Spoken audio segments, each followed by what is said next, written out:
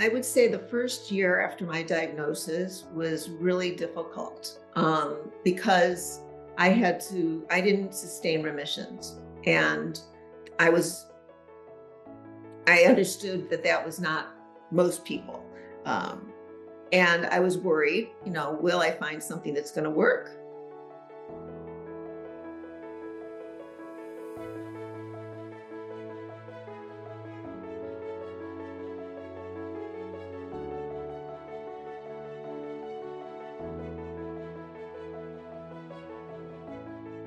Him. And he said we have we have a clinical trial for you that you're eligible for. And it's it's called um, talquetamab talquetamab. And he discussed it with me explained what the bispecifics were um, and then i ended up getting onto that trial at mount sinai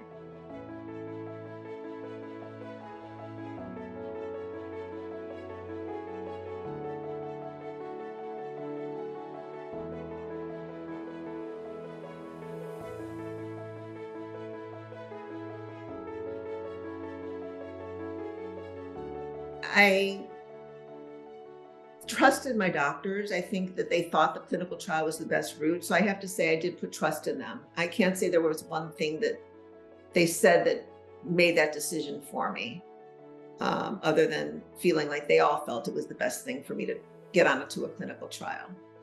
I didn't know a lot about it. I didn't understand what immunotherapy was or bispecifics, but um, later it was explained to me so, what I'm hearing is you had multiple experts you were consulting with, and you really deferred to them. You said, Hey, you're the ones who specialize in this.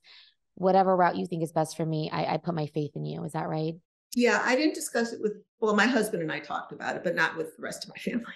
Um, I, um, I didn't know anything about bispecific antibodies um, much until it was explained to me when you hear clinical trials, most people don't oh. hear about clinical trials. And then, so just the thought, the, the question is, you know, what did you know of clinical trials? Had you ever thought you would actually be on one? Did you have any anxieties about them? Yeah.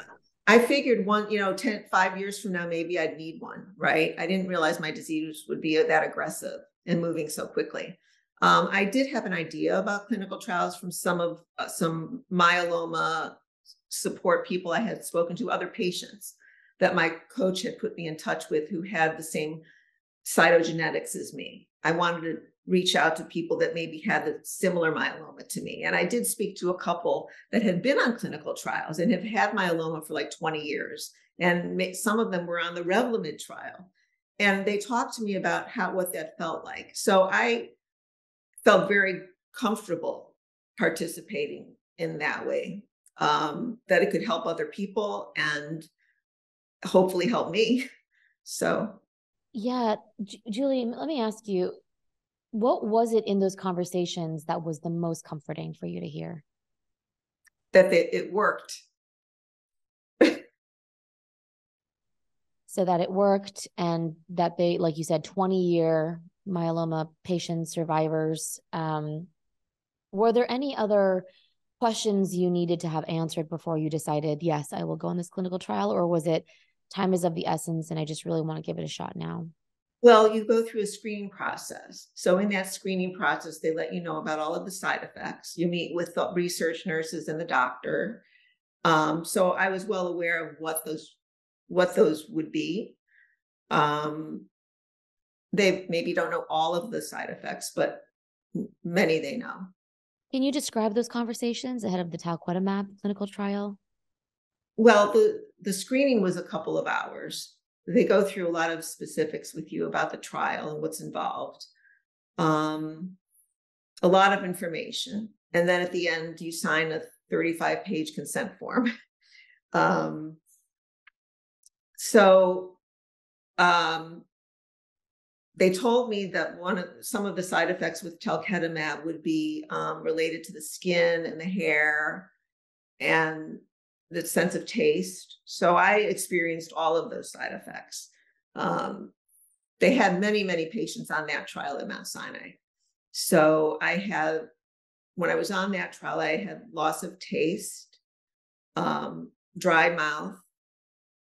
I my fingernails split and fell off. Um, I lost my layer of skin on my hands and feet came off. You know, it was a it was a difficult for me, a difficult um, dealing with those side effects. But I knew what the risks were. I knew was chance, you know, I, I, I possibly could get that. Were Were there any things that helped with any of those side effects? The dry mouth, the loss of Yes. taste, the skin The peeling. nurses were very good about prescri- um, giving me some over the counter things that worked. There was a patient who was also on the talquetamab study of a woman who about my age who we bonded. Um, she was willing to talk to other patients. She told me about creams and lotions and things that she used that helped. So there was kind of a support there, and the research nurses are all fabulous about giving you that information. Okay, so the nurses helped you there with that. Okay. Mhm. Wonderful. And so you um how how how was what did life look like? You had to go in. What was the procedure? Like people aren't familiar with bispecifics, right? So Yeah, yeah. Um, so the talquetamab was twice a month, and there would be a tr- pre-treatment of Benadryl and Tylenol, and then I would get the the IV of the medicine um, that would last a few hours, and then afterwards you stay They observe you. Yeah, I it was a full day um, because when you start the day, first they take your labs and you have to wait an hour for the results. And if your blood counts are good, they proceed. Um, and then the pre-meds is an hour before you get the infusion. So you're waiting for that. So basically, I looked at it a time to just hang out and watch the latest movies on Netflix, you know. So it was kind of a relaxing day, you know. and at what point would you start to feel the side effects?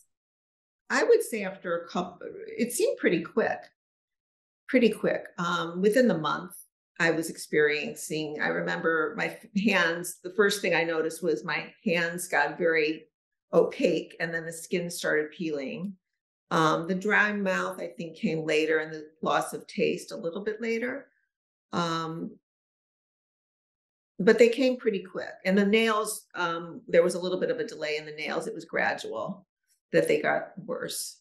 That was, uh, I started at the end of August, um, the testing, and then I, I was admitted, you have to go into the hospital for the first couple weeks for a step up dose. So that was in September. Um, I was on it for two cycles, I believe. And then my disease started progressing again. And this was a familiar pattern for you. You were there was a response, and then after a couple cycles or treatments, the numbers would start to go up again.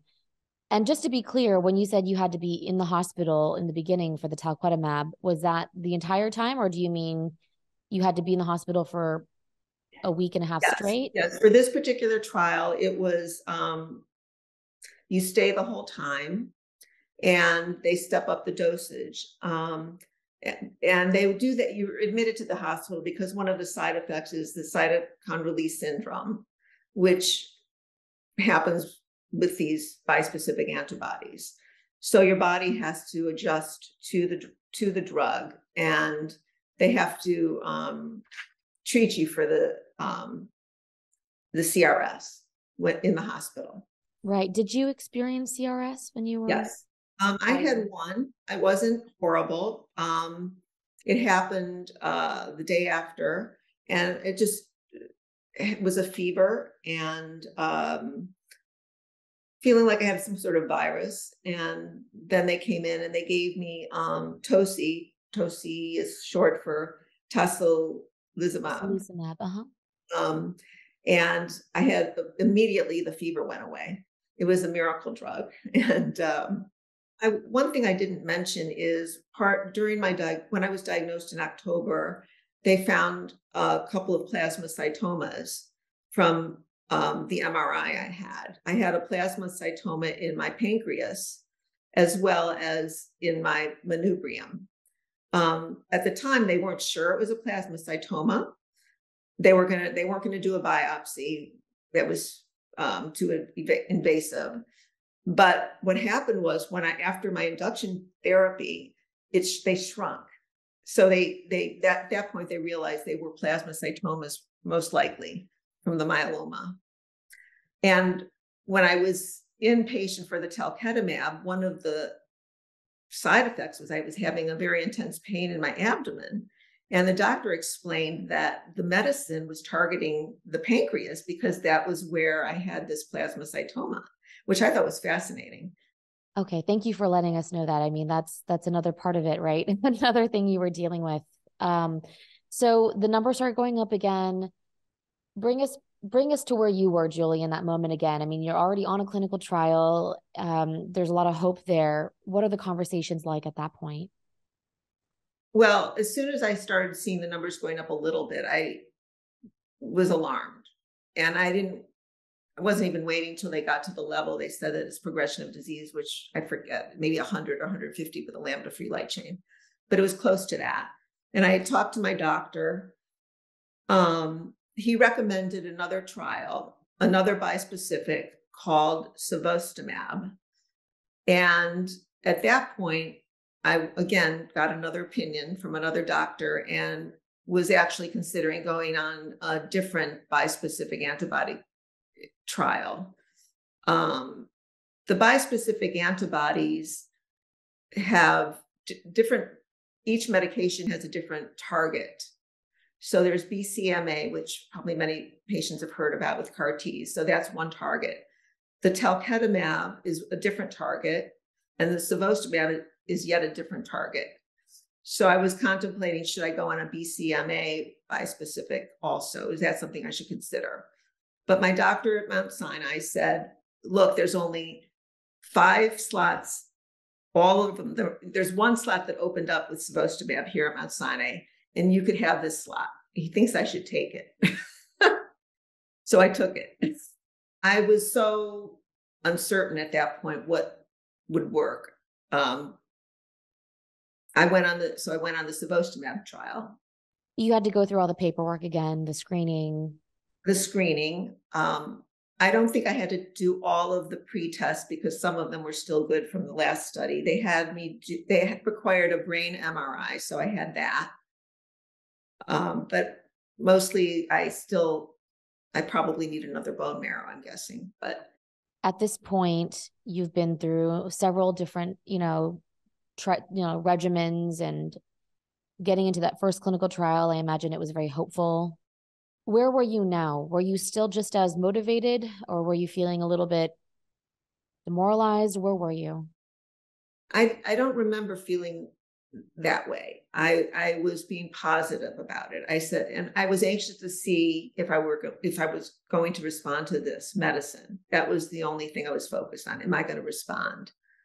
Um, so I was very anxious to see if it was going to work. So you were okay. So you were anxious, excited just to start. Let's see. Let's see what the impact is. So you go through the screening you it's the same it's the same hosp it's the same hospital or the place to go to yeah. right and so you're familiar with it so it's the cevostamab can you talk to us about what happened with that sure um i was inpatient but it was a different protocol from the talquetamab i was inpatient it was in december of uh, 2021 and um you're inpatient three weeks in a row but each time for four days. So you're inpatient four days and then you're discharged. So they do step up doses each of those three weeks, but you're not there the entire time. And again, I had the um, CRS. So um, they treated that, it was fine. Um, and then I went home and I was on the schedule. There's this particular trial has an endpoint after 17 cycles. So each cycle is 21 days. And I was able to have three weeks in between treatments, which was wonderful. It was just great.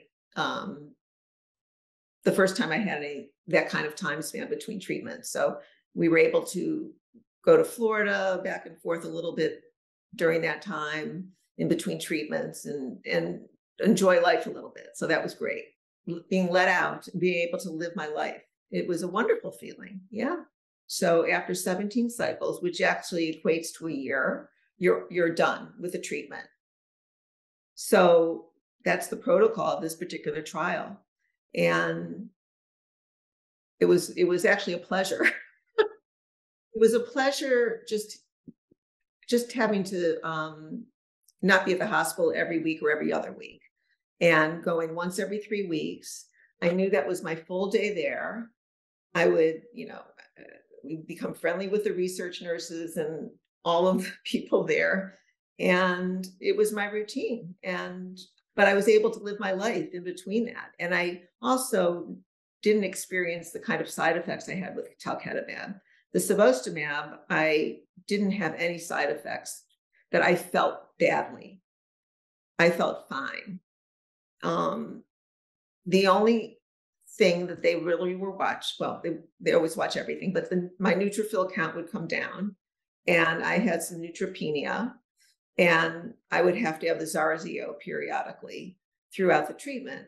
But I didn't feel badly. I didn't wasn't tired. I didn't realize it, but they were keeping on top of that. One of the cycles they actually withheld the treatment because of my my white blood count, my neutrophils were low.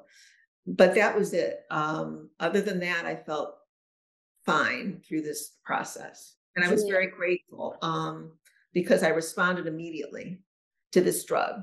Well, one thing I felt quite good about is the doctors have said, said to me that this these drugs, these bis- bispecifics, act differently than other drugs.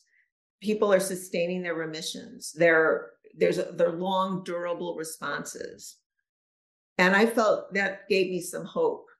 So uh, I actually connected with a woman who was on the Cevostamab trial, one of the very early, early trials. She was off of the drug already, maybe a year and a half, and she was still in remission. Uh, so I was hopeful about that. What is the meaning and the value of hearing from another person, a patient, a survivor, someone who's gone through what you're about to go through? Or, you know, what is that? How meaningful is hearing from someone like that? It was wonderful. Um, I actually found this woman um, from an article she wrote on one of the um, myeloma support websites, and I they were able to give me her contact information. I saw this article she wrote about being on the Cevostamab study, and we had a phone conversation. Um, it was just reassuring. Um, it'd be nice if there was some kind of community where people could reach out to each other on these trials, but I know there's a lot of confidentiality there. So It is it is something that I hear has given you a lot of hope throughout um, as you were trying to figure it out. And I'm so glad. I mean, so how far out are you now? Um, and tell us how you're feeling, how you are. So my final treatment with Cevostamab was December 1st of 2022. And I'm in stringent complete response, MRD negative, which I've been in since early spring. So I'm, knock on wood, really hopeful and grateful. And I'm able to um, be in Florida and I have to just submit my labs once a month to Mount Sinai. And once every three months, go back for an in person visit and get a PET CT. So um, I'm very grateful right now. And I always say knock on wood. So So Julie, the the follow up, so it's monthly labs to be sent in, quarterly PET CT scans that have to be done. How do you manage that?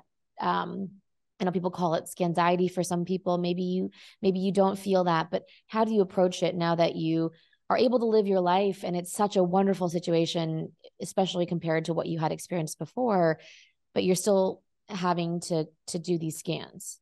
Well, I'm happy. Um, I want them to be on top of it. Um, I did ask my doctor recently, do how will I have to get the um, PET scans every three months indefinitely? And I believe that you know his answer was pretty much um, he wants to keep going. I have extramedullary disease, and they want to make sure you know nothing is happening in that end. Um, that would show the progression of disease. So I hope to get to a point where, um, you know, I, I don't need to go every three months for that, but I understand that. I accept the fact that it's a chronic illness.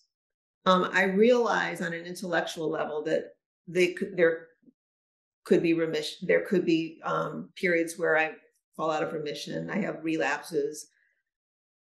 I guess for me right now, emotionally, it's hard for my brain to go there, and I don't want to think about that. Um, I feel good now, and I guess when that happens, uh, if it happens, I'll deal with it. Um, I, have accepted that. I think um, intellectually, um, hopefully, emotionally, I'll be okay with that as well. And, so, if you were to humanize what clinical trials are in general, and then what they've meant to you, that would be wonderful. Well, the clinical trial, I, I, am such a proponent, obviously, of that right now. Um, I think that people that have an aggressive disease like me and they're not able to sustain the remissions if i think it's a wonderful option. And i trusted my doctors that these were the best decisions for me. Um, some trials are newer than others so they have less data the cevostamab they did not have as much data i would ask questions about certain side effects and they just don't know everything yet. Um, this the cevostamab, um, I was told, will be hopefully FDA approved in 2025. So there's still a way to way to go. Um, one of the bispecifics is already um, FDA approved. so I I think there's so many options for patients. Early on in my diagnosis, I just didn't real, really know if anything was going to work um, I was worried that there's nothing that would work for me. And I am so grateful that I was on, I was on the trials that I was, and I, you know, unfortunately one didn't work, but I'm happy that I participated. And you also get a lot more attention when you're on a clinical trial at Mount Sinai. Um, you get your own private room for the IV. um, but really, I think it's always an important conversation to have with your doctor and the clinical trials could mean the difference in your disease and getting better and, so yeah that was so so powerful julie any any last thing you want to say to- well i think it's so important to take charge and and really have control where you can control you can't control this disease but you can control how you respond and you could become knowledgeable and make decisions so take control how you can take control of this disease, and that's through how you respond. And seek out all the information through all of the wonderful resources, you know, the nonprofits that we have for myeloma. And there's a lot of people there that are that want to help. So I'm grateful to that.